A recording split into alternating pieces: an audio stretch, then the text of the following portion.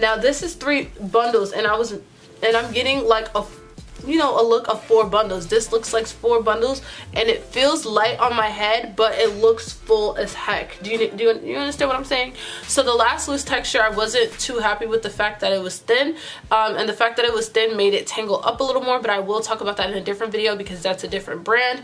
But as far as this brand right here QueenLife this is my first time working with them and i really love the texture so definitely check them out you guys um I'm really loving this wig. Let me know if you guys want me to show you, um, like, you know, after my mom has it on, show, ask her what she thinks about it because she's going to be wearing this wig all the time. I just love it. And after you comb your fingers through it, I've been combing my fingers through it over and over and over. It gets bigger and it doesn't shed. Like, there's no shedding in my hands. And I didn't even bleach the knots on the closure. I just finessed it with some face powder and look at, oh my god. This is just, this is beautiful. I need to do a photo shoot just like. You know what I'm saying? But yeah, this is QueenLife hair.